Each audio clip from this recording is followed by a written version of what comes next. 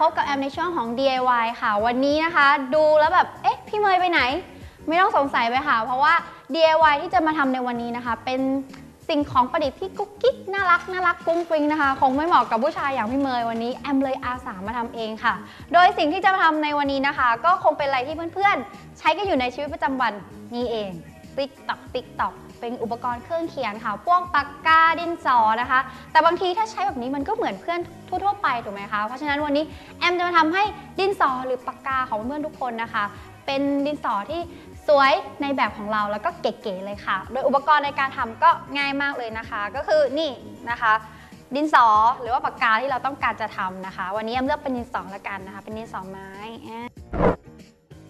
ค่ะ อย่างที่สองนะคะ จะเป็นคัตเตอร์หรือว่ากันไกรนะคะ แล้วแต่ที่เราถนัดค่ะ ที่สามารถตัดได้นะคะ แล้วก็อีกอย่างหนึ่งขาดไม่ได้เลยค่ะ อันนี้ก็คือเป็นเหมือนเทปลิปบิ้นนะคะ ที่เป็นลายเก๋ๆตามสไตล์ที่เราชอบ จะเป็นสีชมพู สีเหลือง สีส้มหรือสีอะไรก็ได้นะคะวันนี้เลือกสีฟ้าเพราะแอมชอบสีฟ้ามากๆเลยค่ะ ค่ะ เดี๋ยวเรามาลงมือทำกันเลยดีกว่าค่ะ ก็ขออนุญาตเขียนอุปกรณ์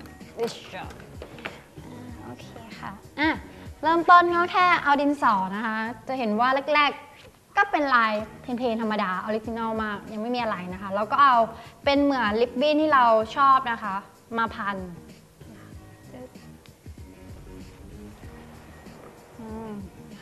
ก็แค่พันลงไปนะคะอาจจะเริ่มต้นด้วยขอบแรกใกล้ ๆ กับใกล้ๆกับดินสอเรานิดนึงนะคะ เพื่อปิดสีเหลืองของตัวลาย โดยวิธีการทำก็คือกดแน่น ๆนะคะ เพื่อให้ติดเข้าไปเป็นเนื้อเดียวกัน แล้วก็มันจะดูสวยงามมากนะคะพันสักเป็นสักสองรอบแล้วกันนะคะ มันจะทำให้ดูแบบไม่หนาแล้วก็ไม่บางจนเกินไป แล้วก็ตัด บางคนอาจจะสงสัยนะคะ ว่าทำไมแอมพันเป็นข้อๆไม่พันเป็น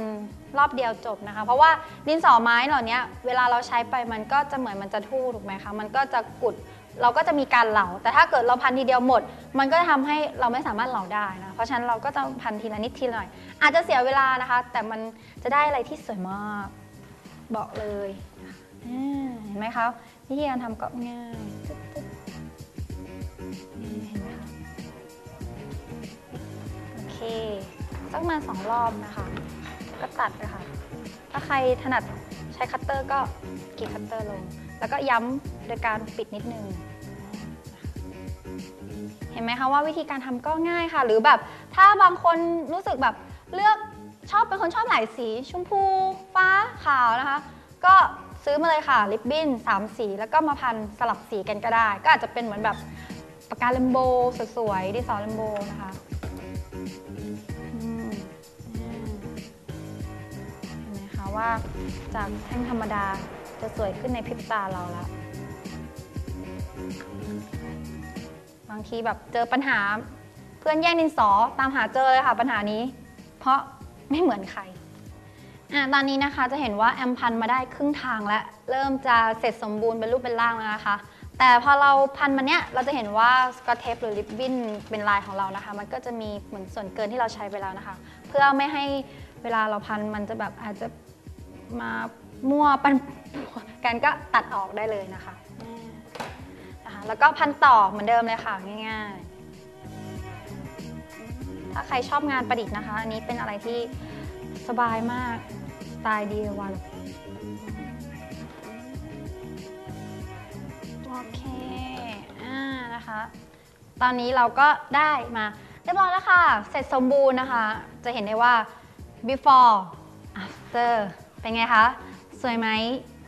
และนี้ค่ะก็คือ DIY ง่าย ๆ ที่เพื่อนๆ หรือว่าใครก็ได้ค่ะสามารถทำได้ โดยเป็นดินสอที่สวยเก๋หรือว่าเป็นเครื่องเขียนเก๋ๆในสไตล์ของเราค่ะ